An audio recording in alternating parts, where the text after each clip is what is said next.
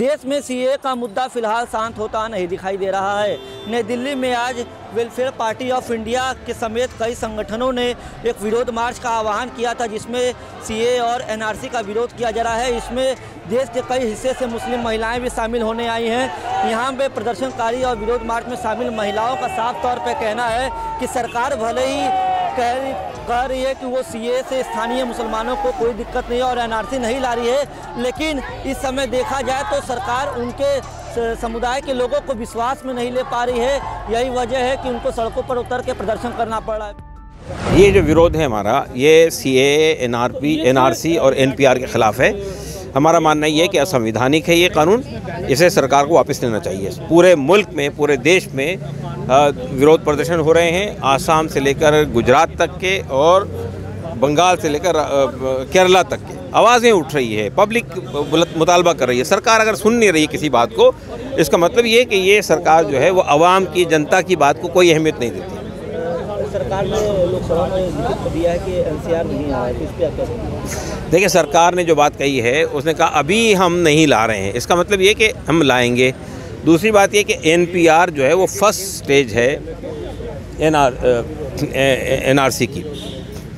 तो आज कहाँ कहाँ कहाँ से लोग आए हैं वेलफेयर पार्टी की तरफ़ से है ये। कहाँ कहाँ से लोग आए हैं मार्च में? ये जब एडजस्टमेंट जितनी दिल्ली के इलाके वहाँ से आए हैं और कुछ लोग रिप्रेजेंटेटिव तौर पे हर स्टेट से आए हैं।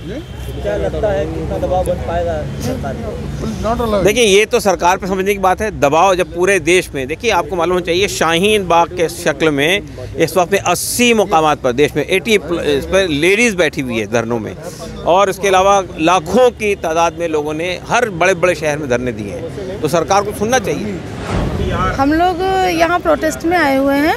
और हम लोग कोटा राजस्थान से आए। हमारी ये मांग है कि जो अभी एन आर सी सी और एन पी आर है, हम चाहते हैं कि हमारा जो संविधान से हट के ये चीज़ संविधान में जो हमारा जो कानून है, इसमें जो गलत तरीके से इसको लाया गया है इस कानून को हम ये चाहते हैं कि इसको हटा दिया जाए। हमारी सीधी सी मांग यही है। देखिए कहने में और करने में बहुत फ़र्क है। अगर ऐसा नहीं होता ना तो इतने लोग यहाँ पे आज इकट्ठा नहीं होते। ये गलत है और हम ये चाहते हैं अगर नहीं है तो इस चीज़ का हमें विश्वास दिलाएँ कि ये गलत है ये हम लोग नहीं ला रहे हैं। विश्वास दिलाएँ हम ये चाहते हैं इतनी दूर हम यहाँ पे इसीलिए आए ताकि ये ये प्रोटेस्ट ख़त्म भी किया जा सके। ये यहाँ पे कम से कम 50 के करीब महिलाएँ राजस्थान से आई हैं, कम से कम 25 लेडीज़ आई हैं करीब। हम लोग आज संविधान बचाओ, नागरिकता बचाओ के शीर्षक से एक रैली कर रहे हैं, जो मंडी हाउस से निकलकर जंतर मंतर पर जाएँगे। वहाँ पर जनसभा है, जिसमें बहुत सारे एक्टिविस्ट यहाँ पर आ रहे हैं। हम लोग चाहते हैं कि ये जो सी एन आर सी का काला कानून है, इसको वापस लिया जाए और देश के जो संविधान की जो आत्मा है, उस पर वार ना किया जाए। जो बापू का देश है, जो अंबेडकर जी का देश है, उसको बरकरार रखा जाए। इसमें वेलफेयर पार्टी ऑफ़ इंडिया है और बहुत सारे लोग शामिल। हाँ कुछ जामिया के भी छात्र हैं। सरकार आ रहा देखिए, वो क्रोनोलॉजी जो है, समझा रहे हैं। वो समझ में आ रहा है। एनआरसी की जगह पे एनपीआर ला रहे हैं ना। तो इस पर खुलकर बात होनी चाहिए। और ये लव लेटर लिखने से मामला जो है शांत नहीं होगा। जब तक ये वापस नहीं होगा। हमारा विरोध ये है कि हमें काला कानून हटाना है जो ये सरकार ला रही है ना संविधान के खिलाफ है ये कानून इसको हटाना और इसे हम नहीं मानते। सरकार तो कह रही है कि जो ये आया है इससे यहाँ के लोगों को कोई दिक्कत नहीं है। दिक्कत की दिक्कत नहीं है ना कि ये जो हमारे सिर्फ़ मुसलमान भाइयों के लिए ही क्यों है ये कानून और और धर्मों के लिए क्यों नहीं है ये कानून? के बारे में क्या जानकारी है ये है कि इसमें तो नागरिकता उन धर्मों को तो दी जा रही है छोड़ के मुसलमानों को। यहाँ के जो स्थानीय मुसलमान हैं उनको तो सरकार ने कहा कोई दिक्कत नहीं है। उनको घबराने की ज़रूरत नहीं है तो आखिर आप लोगों को क्यों इस बात का डर हमें विश्वास होता ही नहीं है सरकार के ऊपर। क्या हमें कोई सबूत दे कि हमें विश्वास हो जाए? उस पर सबूत मांगना चाहते हैं हम कि हम ये सरकार ने इससे पहले भी कई बार हाँ, वादे सरकार ने इससे पहले भी कई वादे किए हैं जो पूरे नहीं हुए इससे पहले कई तरह के वादे किए हुए हैं। हम चाहते हैं सरकार पहले वो वादों को पूरा करे तब उस बात को हम विश्वास करेंगे अन्यथा विश्वास नहीं करेंगे। हम लोग ये जो काला कानून आया हुआ है इसका विरोध कर रहे हैं। ये सी एन आर सी और एन पी आर जो तीनों कानून है हम लोग इसको जो है तीन बुलेट मानते हैं। तीन बुलेट मानते हैं जिससे जो है हमारे देश को ख़तरा है। किस तरीके का खतरा है तो अगर इस देश को जो है बांटा जा रहा है मज़हब के नाम से बांटा जा रहा है। तो हमारे संविधान के ख़िलाफ़ है तो हम लोग हमारे संविधान को बचाने के लिए इस देश को बचाने के लिए रास्तों पर उतरे हुए हैं। आप तो कह रही है कि जो यहाँ के मुसलमान हैं जो भारत के हैं उनको इस पे इसमें किसी सी वजह से डरने की ज़रूरत नहीं है। तो आखिर आप लोगों को सड़कों पर क्यों उतरना पड़ रहा है? यहाँ के मुसलमानों को डरने की ज़रूरत नहीं कह रहे हैं लेकिन यहाँ पे जो सी का कानून लाया गया है इसमें साफ़ नज़र आ रहा है कि इसमें एक कम्युनिटी को निकाला जा चुका है। तो आप छोटा सा एग्जांपल असम का एनआरसी ले लीजिए, तीन करोड़ की आबादी वाला तो वहाँ उन्नीस लाख लोग बाहर आ चुके हैं। तो उनके जो है, इससे कोई भी अभी तक भी कोई उनके लिए सुविधा नहीं हुई सुविधा की नहीं जा चुकी है। तो इसी वजह से जो है, हम भी यही करते हैं। यहाँ पे हमारा 1.30 करोड़ का आबादी है। आप पूरे देश में ये चीज़ करना चाह रहे हैं एनपीआर करना चाह रहे हैं तो हम लोग बोले करोड़ ऑफ़ लोग जो आएँगे उनकी क्या सिक्योरिटी देंगे आप? उनको कहाँ पे ये करेंगे? हम लोगों को आपकी बातों पर विश्वास क्यों नहीं हो रहा है? होना ये चाहिए ताकि सरकार की बातों का हम विश्वास करें। आप बैठे हमारी बात सुने हमसे बात करें हमारे जो मामला हैं उसको सुलझाएँ। हम वही चाहते हैं सरकार से। बैठें बात करें कुछ हल निकालें जो सबके सबके पर में रहे सबके हक में हो। इस देश के हक में हो। हम एन आर सी सी ए के ख़िलाफ़ यहाँ जमा हुए हैं। और एम पी आर के ख़िलाफ़ यहाँ जमा हुए हैं। आप लोग विरोध कर रहे हैं लेकिन सरकार कह रही है कि यहाँ के लोगों को कोई दिक्कत नहीं है। तो आप लोगों को क्या लगता है कोई समझा नहीं पा रहा है सरकार अगर ये कह रही है यहाँ के लोगों को दिक्कत नहीं तो हम क्यों जमा हुए हैं? हम कोई अपने घरों से फालतू तो नहीं है जो अपने घर बार अपने बच्चों को छोड़कर आए हैं। सरकार तो हमें देख ही नहीं रही। हमें जो है शाहीन बाग को दो महीने हो गए और ईदगाह को एक महीना होने वाला है। रात दिन हम घरों को छोड़ के बैठे हुए हैं धूप में बारिश में। हमें सरकार देख ही नहीं रही। हम अपने घरों से फालतू नहीं वो औरतें जो घरों से निकलती ही नहीं थी कभी। वो आज सड़कों पर बैठी हैं। वो क्या वजह है? उनके दिल को दुखाया गया है।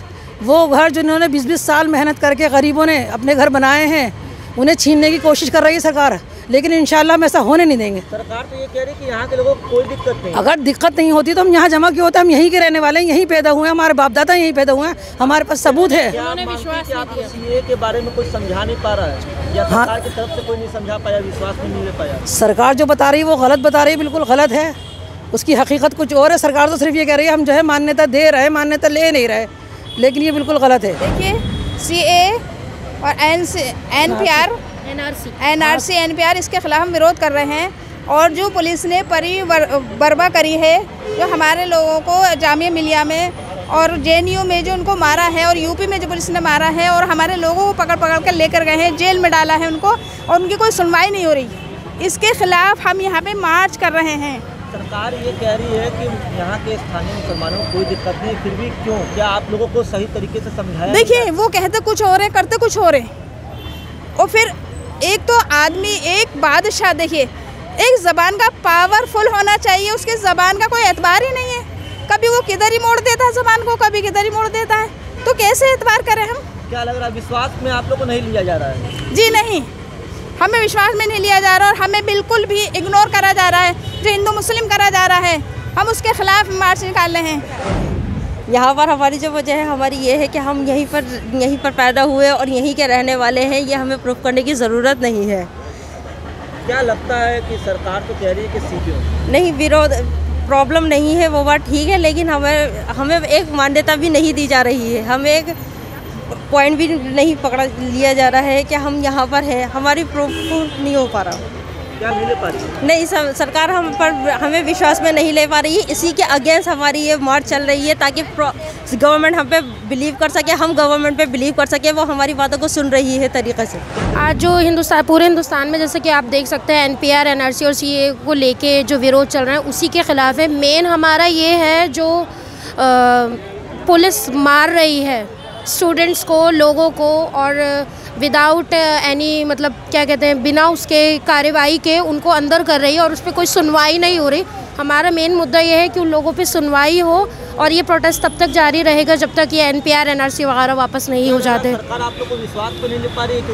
सरकार चलिए देखिए उनके जो कमेंट्स है वो अपने कमेंट्स पे कुछ नहीं है। अमित शाह एक दिन कुछ और कमेंट करते हैं मोदी उसका खिलाफ करते हैं फिर मोदी कुछ और कमेंट करते हैं अमित शाह उसके लिए मना करते हैं। तो इनकी बातों पे तो विश्वास करा नहीं जा सकता और मेन मुद्दा ये है कि हमारी कॉन्स्टिट्यूशन को ख़राब कर रहे हैं।